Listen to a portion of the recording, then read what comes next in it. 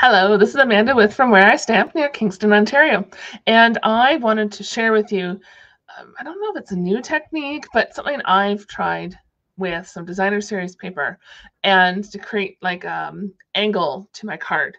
And I made this earlier and I wanted to share with you how to use or create this using a different sheet from the same pack of designer series paper.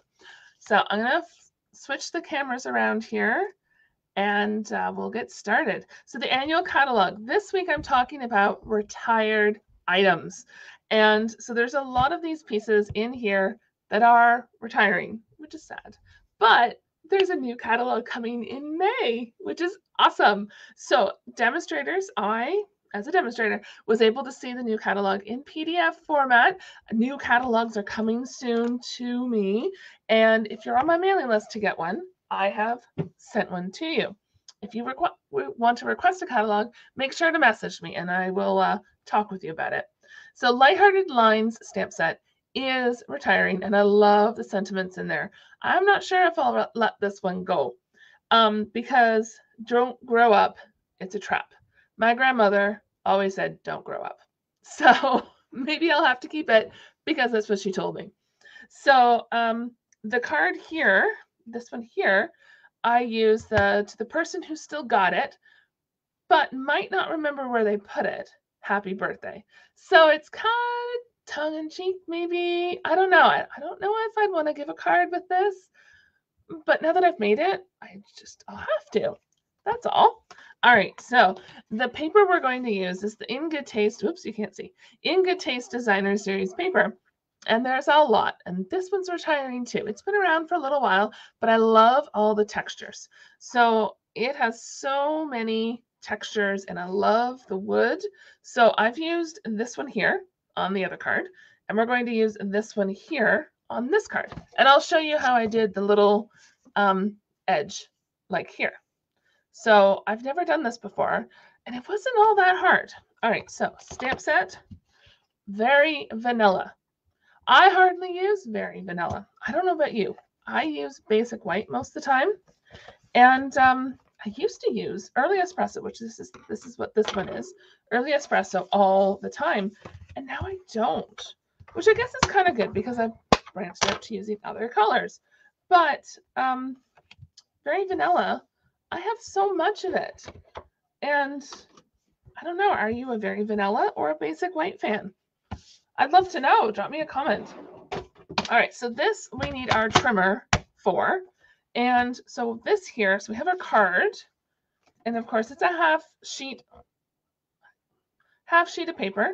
So it's eight and a half by five and a half, scored at four and a quarter and folded in half. This is four by five, uh, five and a quarter. Sorry. All right. So I'm randomly going to pick um, so kind of like a quarter inch-ish from the bottom and an inch-ish from this side, something random. And you want to cut it. And we don't need that other piece. You could keep the other piece if you wanted to create another card with it or something. I don't know. I'm just going to toss it. All right. So we have this very vanilla that we're going to put as a little piece, accent color. And We'll need the trimmer again in just a moment. So we have this. I do not like this side. It is pink. It's it was Rococo Rose, which is an old in color. And uh, it was purple, I'd be happy. All right, so let's try this side on this side. So just a little bit. I'm just lining this up here so that um, I just have like a quarter inch roughly. And then we're going to grab the trimmer and put it here. So it's at the four inch mark and trim off that very vanilla. I didn't do a very good job, so maybe I'll have to fix that with the scissors. And then here, oops, trim that off. I took a little bit too much off.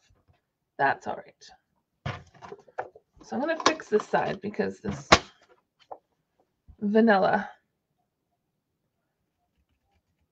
will just bug me. There we go. because it's going against a dark card base. Oh, look at what I did to my paper. All right, I'm going to fix that. Let's fix it. Whoops.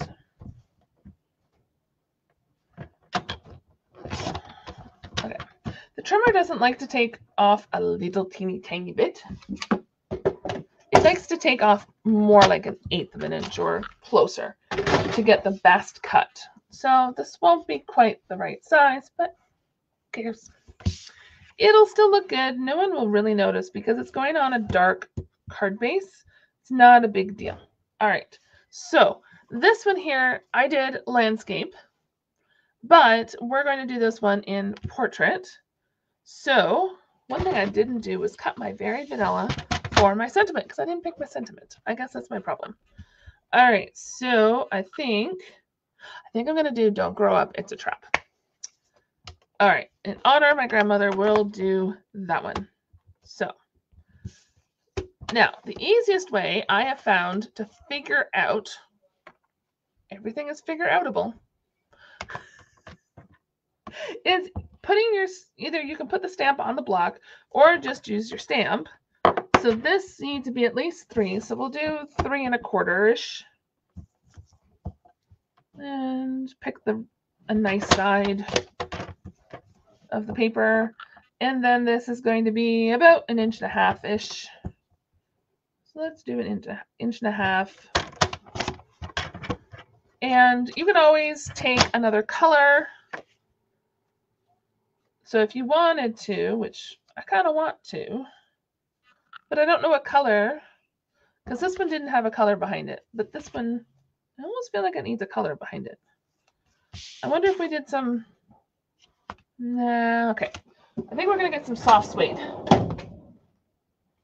Go over to my cabinet drawers, my filing cabinet drawers. I kind of like that. All right. We're going to roll with this. So what did I say? It was one and a half.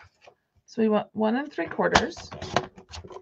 And then this was three, three and a quarter. So we need three and a half, which it is already.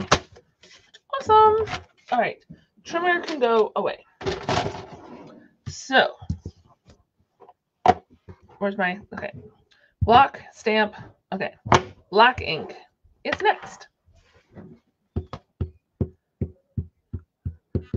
So, I don't know if you noticed on my card over here, but it didn't stamp very well, did it? I had too much ink here and not enough ink here. So let's see. I think I need some more ink in the middle. All right, let's see if this one works. Mm, off. Nah, it's okay. Let me try the other side.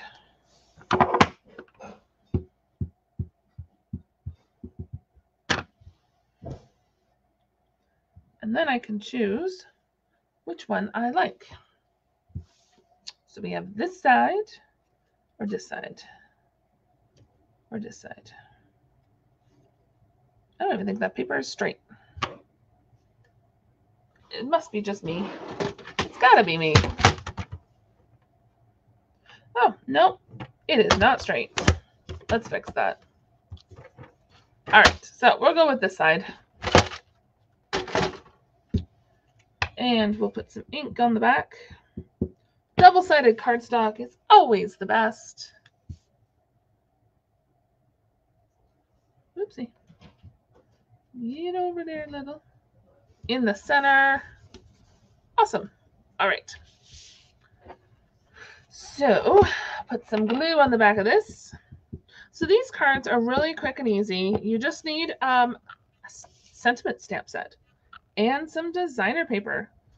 So if you have a sentiment stamp set like Lighthearted Lines that you're wanting to use, but you're not sure what to pair it with, because sometimes you think you need to stamp flowers or you need to stamp um, um, a hillside image or I don't know, or something. But you don't have to. You can use designer paper, which is why I, one of the reasons I love it is that you can not only pick colors from that designer series paper, to save you from having to choose what colors to use in your project. But then you can also use it as like your backdrop. So I feel like the card is not so, dare I say, naked. But, oh, my grid paper. Get the grid paper out so that I feel that at least I've tried to get this kind of, oops, that is not centered at all. Try, try is what I do. All right, so I also added some pearls to my card, and we're going to use the um, take your pick tool. Couldn't remember what it was called. All right, so all you do is you take your pearls that are on a little sheet here and make sure you have your putty. Put it down and pick it up. I don't know if you can see that. No, it is not going to cooperate. So we're going to put it here and fix the putty. We're going to pick up another one. Oops. And we're going to put it here. And we'll pick up a third one because generally embellishments aren't done in threes. All right, and then we put the cap back on to save the putty for another day. So then here are two cards. Let me move that out of the way. So there are two cards using the Lighthearted Lines stamp set and the In Good Taste Designer Series paper. So just a reminder, this paper and this stamp set are retiring. They are while supplies last. So if these cards look something that you'd like to create, I would place your order sooner rather than later. And if you have any questions, let me know. And um, I will see you next time.